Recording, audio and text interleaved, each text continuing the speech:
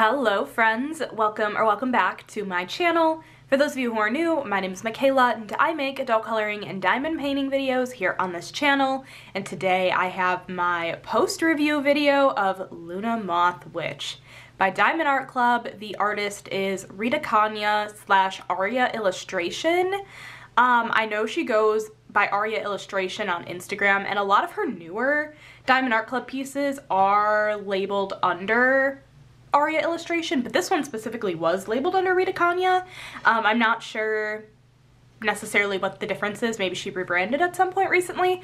But um, I have my post-review video for you guys today. I am so excited. This piece turned out stunning. So what I'm gonna do is just go over the piece with you guys, go over the drills, take a look at my logbook, do a fun little quick recap video of my thoughts on this painting and what I liked, what I didn't like, things like that. So I hope you guys enjoy the video and let's get right on into it. Okay, so the first thing I wanna do is just show you guys an overview of the canvas. So I'm gonna insert a clip here of the completed canvas because it is simply impossible for me to get it all in frame um, on the camera. So um, as you guys can see, this piece is an interesting mix of like browns, blacks, browns and blacks, as if there's more than one black. Browns and black in like the background and like some white and like gray. And then some pops of like mint green um, with other little pops of like pink in the moths. And you guys, this piece is super duper stunning. Um, I thoroughly enjoyed working on this piece. There's a few notes though that I have in my phone that I do want to talk about. Um, let me just pull it up quick. Okay, so the first thing I wanted to say is that this piece, you might not think it just by looking at it. Maybe you can, I don't know. But there was a lot of confetti in this piece. So there also was some color blocking, but not as much as you might think. I would say the most color blocking was over here at the top at the very, very top, there was a lot of black, okay? I also want to say that I used my single placer and single placed 95% of this piece. I gave up during the last five sections over here because it was so much color blocking. Um, but I don't think I would fully single place another piece again. Um, I think that was a lot. That was very ambitious, but I did do it for majority of the piece. But anyways, this piece is super duper confetti heavy. Um, let me just actually show you guys, I'm just gonna attempt to show you guys the bottom of the canvas. Yeah, so her hair specifically, this is like five different shades of green. Um, which was insanely fun to work with, but also like really confetti heavy. And then also confetti heavy um, was going back down a little bit was the entirety of the sky. There are like four or five different shades of brown and then black mixed in throughout the sky. So that made for a very confetti heavy experience. So don't go into this piece thinking that it's gonna be a crap ton of color blocking because it actually isn't a bunch of color blocking. I thought it might be going in. It's totally not. Like, of course you do a color blocking sections like this hat was color blocking.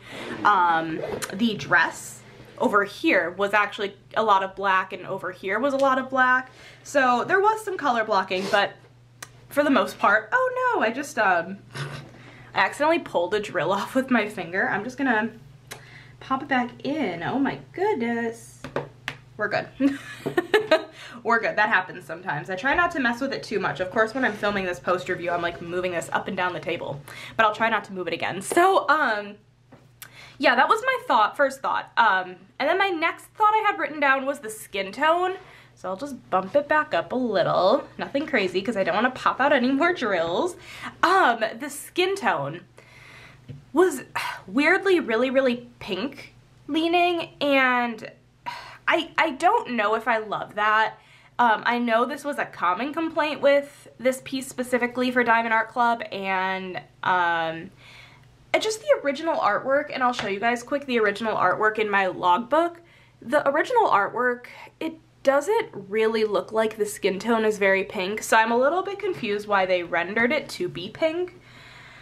I feel like they did this also with Big Sis when I did that piece. I just feel like they, they tend to make skin tones a little more pink. I think that's just what you get with Diamond Art Club. I don't think it turned out bad, especially from a distance. It's a little hard to tell. Like on camera, it's quite hard to tell, but in person, you like you can tell these are like straight up pink tones that I used on the skin. That was just a little thought on that.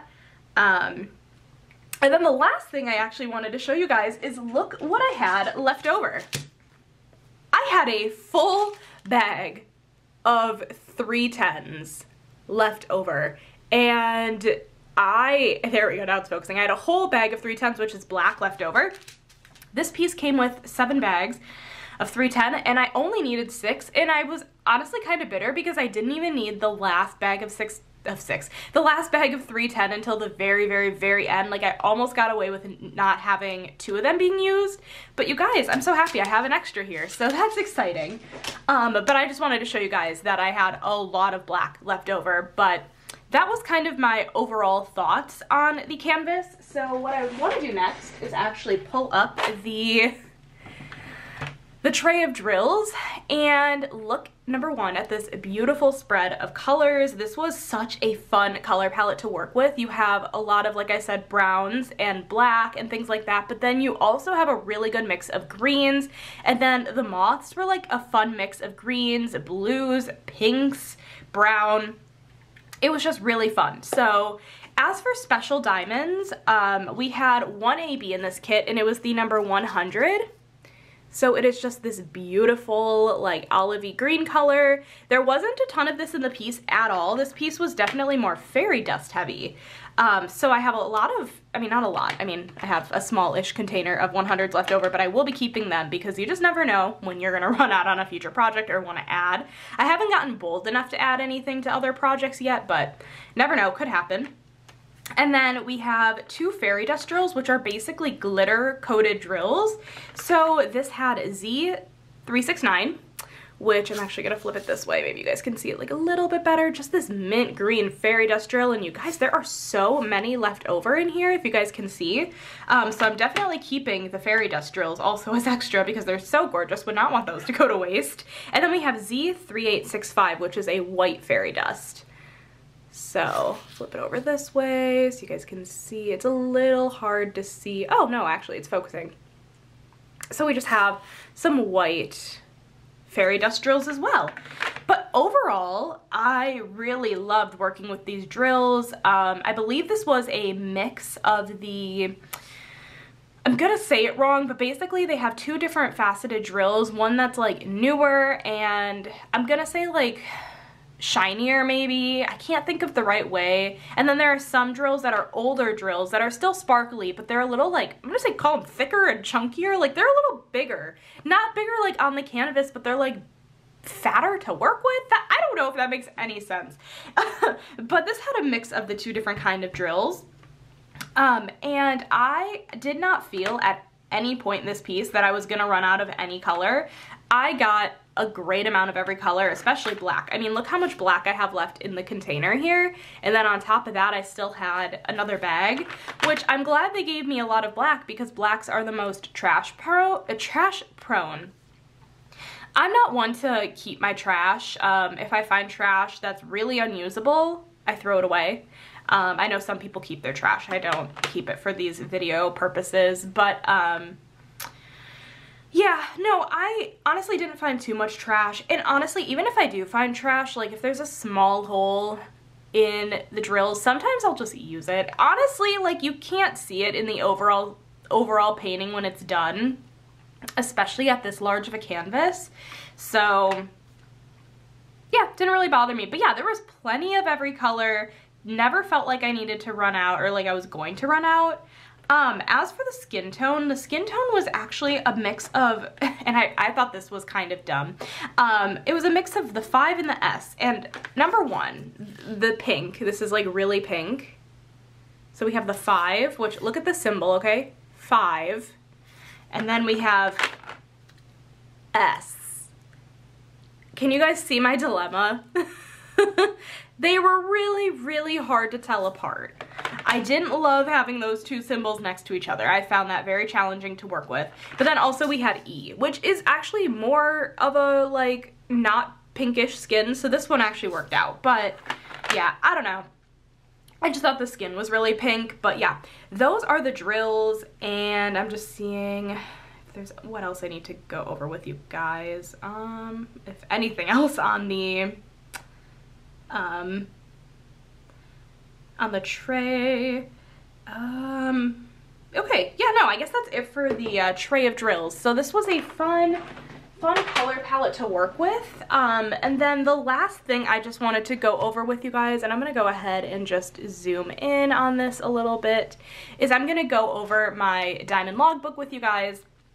Um, if you guys are new to my channel, I keep a diamond logbook basically with every single one of my completed pieces in it. And um, at the beginning of the logbook, I actually keep a running list of my stash. So, and I actually did not do this, but I need to take a highlighter and highlight Luna Moth Witch because I just completed it. But um, anyways, so just going over the stats, this was Luna Moth Witch by Rita Konya. I started this piece on August 22nd, 2023 and finished it on October 20th, 2023. So it took me almost exactly two months, which is not bad at all considering I was single placing the entire time. Um, but I purchased this piece on July 8th, 2023. Like I said, started at August 22nd, 2023, finished at October 20th, 2023. This was a square diamond painting kit. Um, it had square diamonds. I purchased it from Diamond Art Club. I kept this piece. I'm thinking I'm gonna hang it in my bedroom actually. I haven't gotten the frame yet. Well, worry about that whenever. Um, but this had 68,320 diamonds, which I um, I think I had mentioned maybe in like some sort of diamond painting video recently, I was wondering if, um, actually, I was wondering if the piece I picked out for my next painting was bigger than like these other pieces I've done, but this is not the biggest piece I've done this year. Um, there are 40 colors in this kit, 1 AB, 2 fairy dust. It is a 22 by 30 inch or a 55.8 by 76 centimeter kit. And that is my seventh kit that I've completed in my entire life and in 2023 because I started diamond painting this year. But yeah, you guys, that is it for this post-review video. I hope you guys enjoyed it. I am beyond excited to go ahead and start Springtime Splendor by Randal Spangler Diamond Art Club. I will leave my unboxing of that kit down below if that's something you're interested in watching. But I'm very excited to get started on that kit here tonight. But yeah, thank you guys so much for watching this video. If you enjoyed it, make sure to give it a thumbs up. Hit that subscribe button down below if you're not already, and I will catch you in my next video. Bye guys!